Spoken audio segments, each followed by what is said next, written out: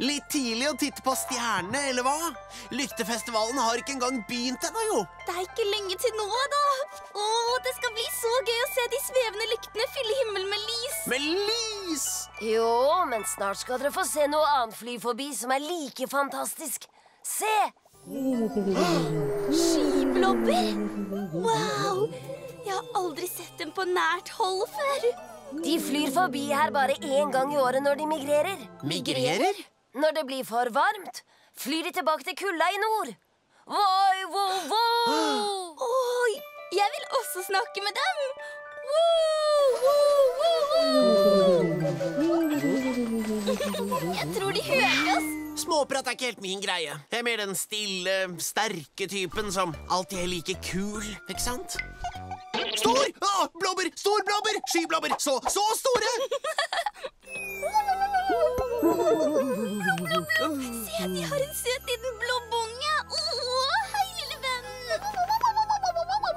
Med en stor, blobbete barnemunn. En hel pusekatt får jo plass der. Mm. Jeg ser ingen vinger. De flyr visst med finnene sine. Ja, de flyr veldig grasiøst. Men landing er de ikke så gode på.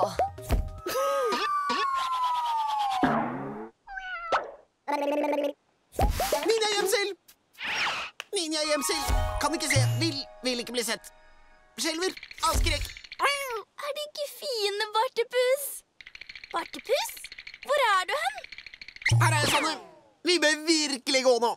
Til den ikke-skyblobbfestival-tingen, ikke sant? Som vi var på vei til. Jeg likte festivalen! Jeg glemte meg bort.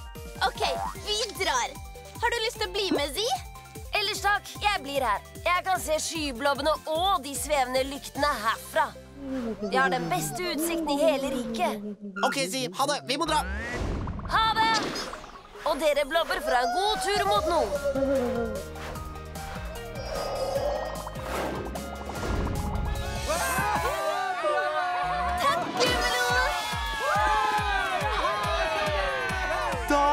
Festen i gang, dere!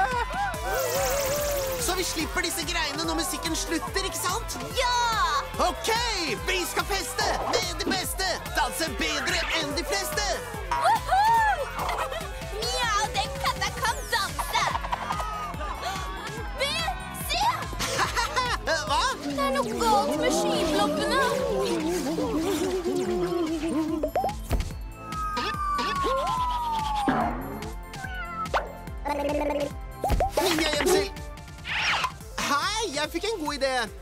se festivalen her nedefra. I tilfelle altså, det blir regn. Nei, Bartepus. Sanne, skyblobbene kommer tilbake. Hva er det som skjer? Jeg tror musikken fra Lyktefestivalen har skremt dem. Det kan stemme, for de er ikke på vei mot det kalde nord nå. De er på vei mot det varme sør. Sol og varme er perfekt. Ikke for skyblobber. De liker bare kaldt vær. Det er ikke bra for dem med varmt vær i det hele tatt. Vi må få dem til å snu. Kan du stoppe dem til vi kommer fram? Jeg skal prøve. Akumulo!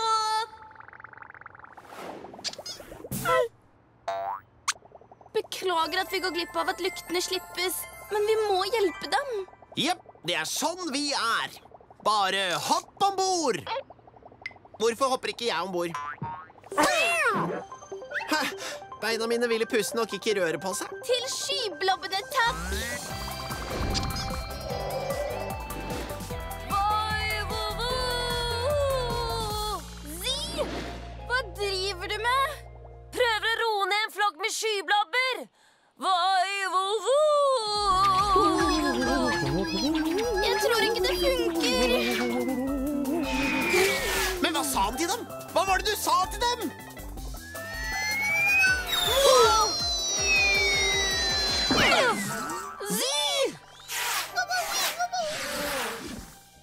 Jeg får nok jobbe med det skyblobb-ropet.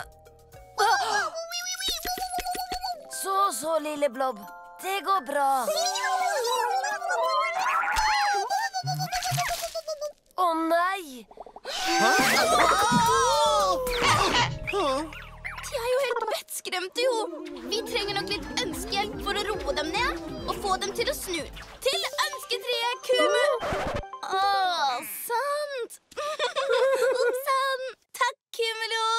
Er alt i orden? Ja, glemte jeg å Glemte jeg å nevne at skyblabber er veldig lettskremte? Ja, men nå vet vi det. OK, fly av gårde, lille ønskekompis. Hvis jeg bare kunne roe ned skyblobbene, kunne jeg fått dem til å fly mot det kalde nord igjen. Men hvordan? Det blir en utfordring. Vi får sette oss ned og tenke over det.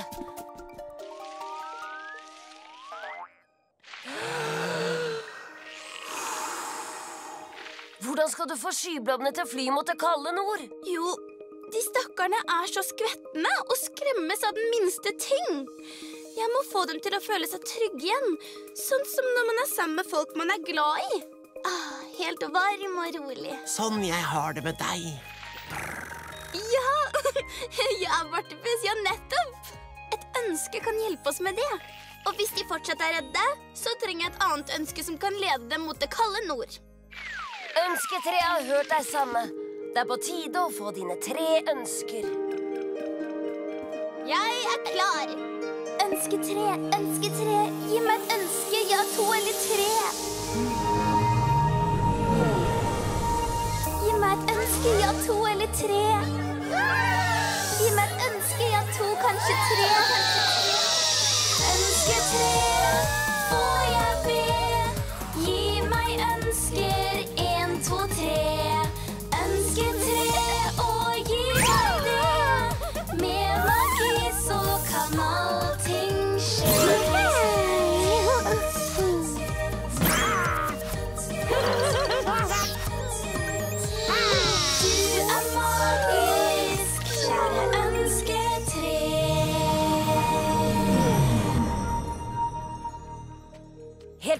Fantastiske ønsker.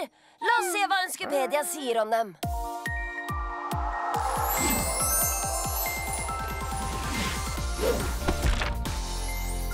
Ditt første ønske er ah, Tusse. Det er et musikalsk ønske som spiller musikk så fin og lokkende at alle faller for den og vil følge etter den. Supert! Tusse kan få skyblobbene til å følge etter oss òg. Og ditt andre ønske er eh, Samlis. Så søtt. Det er et fellesskapsønske. Det gir den varme, gode følelsen som når man er sammen med noen man er glad i. Jeg vet ikke hva det er med meg, Sanne, men jeg er mer glad i deg enn noensinne.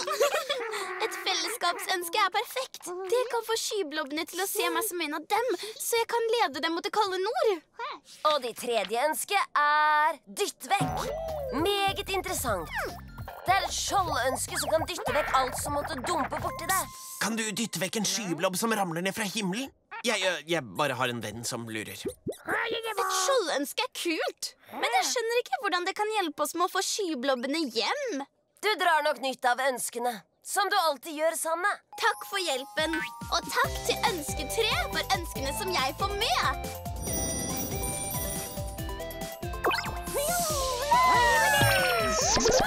Lurer du på noe? Kan du snakkeboble meg? Jeg kan en del om skyblobber. Skal bli! Kom igjen, B! Vi må få våre flyvende venner mot det kalde nord.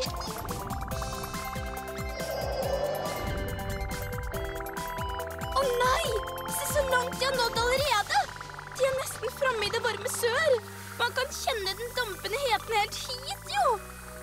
Oh. Den dampende varmen er grusom. Helt grusom. Ja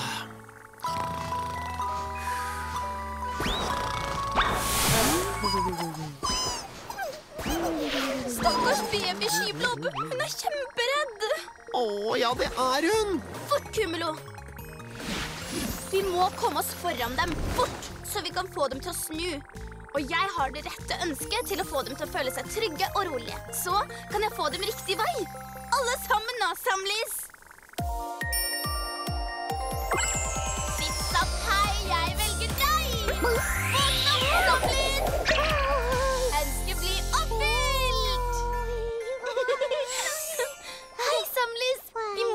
skyblobbene til å tro at jeg er en av dem, så de blir trygge nok til å følge meg. Kan du Wow! Ja Samlis? Nei, nei, nei, nei vent, Samlis. Jeg vil at de skal følge etter meg, ikke Bartepus. Hva er det som skjer? Jeg har gåsehud overalt! Åh, til og med gåsehuden min har gåsehud. Eh, hvorfor er det skyblobber overalt? Bartepus, de blir jo dratt mot deg. Mot meg? Mener du Tror de jeg er mammaen? Nei, nei, nei, nei, nei. Jeg skulle jo ikke være mammaen. Du skulle. Uh, Samlis, kan vi prøve på nytt? OK, takk uansett. Beklager, B. Samlis har bare ønskekraft til å gjøre det én gang. Åh, babyskivloven har jammen blitt glad i deg nå. Åh, be den holde opp. Jeg kan ikke. Til og med babyens mamma vil ha deg som mamma. Ja, men jeg er ikke gira på å leke mamma. Jeg vasker ikke engang mine egne poter før middag. Før Samli sitt ønske tar slutt, så er du moren deres. Men ingen fare, du kan roe dem ned. Jeg kan hva? Gass på vei! Bortepus! Hei, takk, lille blåbær. Myk spretten. Bra. OK, ta meg sammen nå. Skyblåbær, hvis vi skal få til dette, må dere Må dere høre på mammaen deres, OK? Og mammaen deres må ha plass. Takk for det. Det funka! De hørte! På meg! Sier du? Du er et naturtalent. Nå får vi lede dem hjem. Greit. Hjem. Um, skyblåbær. Snu dere, takk. Det kalde nord er den veien. Hør på moren deres nå. Nei, kom igjen, små blåbær. Vi legger det varme sør bak oss. Ikke verst, mamma Piss. Takk for det. En helt vanlig dag på jobben. Denne turen går som en lek. Hæ? Hva, stopper vi? Bortepus!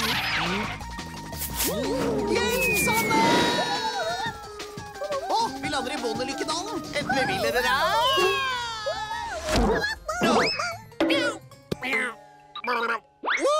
Gjett om det var skremmende! Men jeg slapp i det minste å bli most. Å nei! Gikk det bra, Bartepus? Det gikk bra. Skyer er jo lette som altså luft. Kom til meg, du. Gi meg en kos. Hæ? Sanne, må du sikle sånn på meg? Wow, hei! Så det var derfor de landet i Bondelykkedalen. Det er lunsjtid. Ja, det er det, og jeg liker stilen deres. Og du. Liker dere taratamtambær? Hæ?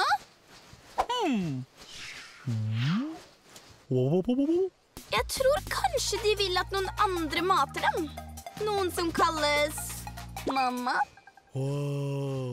Men de har så digert gap. Tenk om jeg faller ned! Faller ned! Faller ned! Det går bra. De spiser ikke deg. Helt sikker? Ganske sikker. Ganske sikker?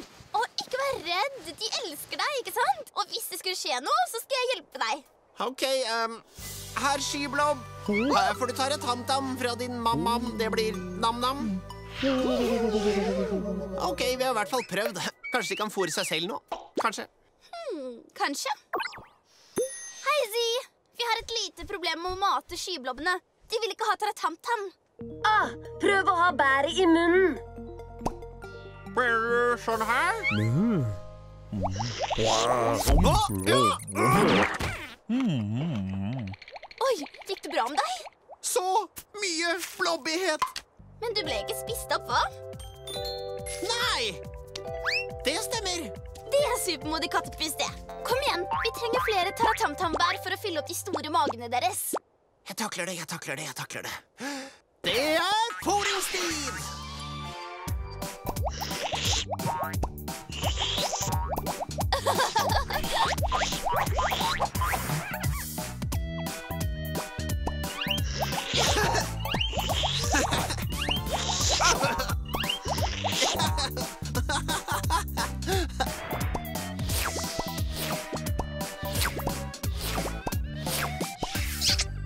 Bra foringsteknikk, blobbemor. Ah, takk. Litt info. Skyblobbtunger er som slimete sandpapir. Ok, lille Blob. Da skal vi få deg og familien din hjem. Kalde nord, her kommer vi! Uh-oh. Hva, hva nå, da? Er du tørst, eller? Klør det? Klør det på magen? Hva? Hva? Jeg tror hun bare ville si takk, mamma. Å, å, ingen årsak. Bartepus, vi nærmer oss Lyktefestivalen. Oh-oh! Bingo Bongo spiller fortsatt. Lyktefestivalen er fortsatt i gang. Å nei, å nei, å nei! Skiblommer, hold dere for ørene! Plugg dem godt, kjære dere! Ja, det stoppa. Å, bra. Men når musikken er slutt, betyr det Klare? Tre, to, én. Slipp lyktene fri! Åh, se på det! alle sammen sender opp svevelyktene sine. Åh, Lykter skumle! Lykter ikke bra! Se på de skyblobbene. Nei, alle lyktene skremmer blobbene.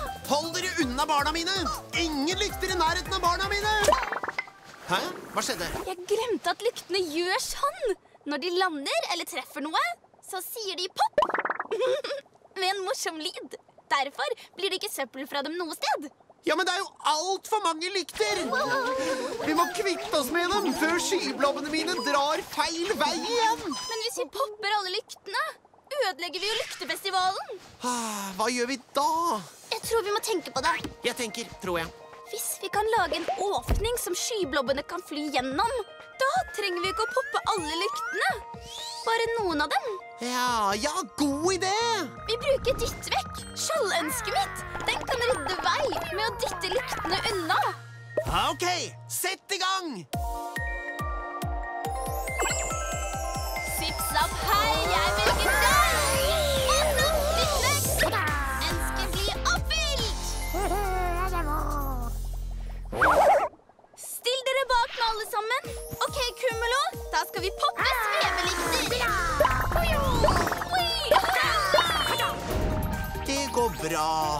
Mammas bestevenn skal ta seg av de skumle, fæle lyktene.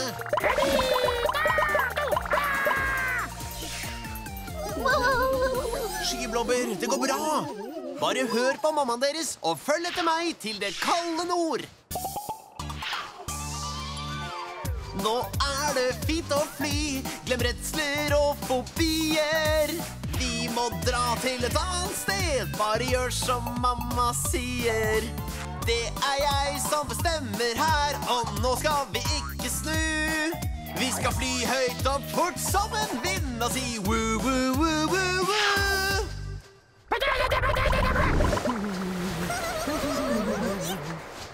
Bra jobba, ditt vekk. Ikke noe mer å være redd for her, skyblobber. I sekken med deg.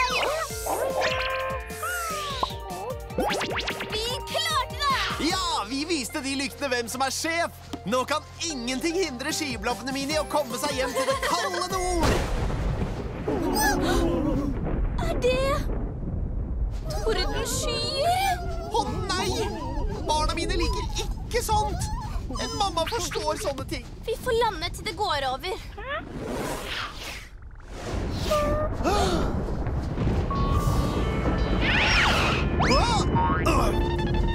Bra bremser. Dette er ikke bra. Tordenværet nærmer seg både over og under oss. Så vi er helt omringet? Ikke helt ennå. Det er klarvær i klippepiggjuvet. Men det kan fort ta slutt. Vi må dra dit nå. Jeg vet ikke, jeg, Sanne. Si sa at blobbene er veldig lettskremte, og de spiser klippene er ganske skumle. Og torden er skummelt også. Vi må finne noe som kan roe dem ned. Jeg har det! Jeg får Tusse til å spille beroligende musikk. Det burde få skyblobbene trygge og distraherte. Tusse, jeg trenger deg. Sipp sapp hei, jeg velger deg. Våkn opp, Tusse. Ønsket blir oppfylt. Hei, Tusse.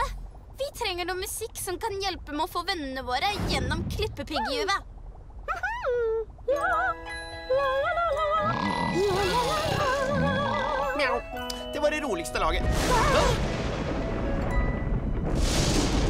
Vi må skynde oss nå!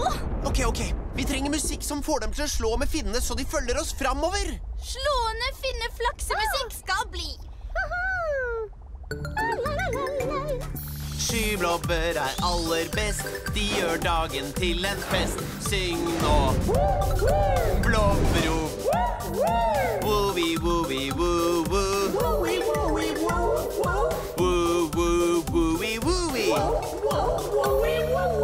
Vi er framme i en vei. Heng med nå og gjør som jeg. Hu hei.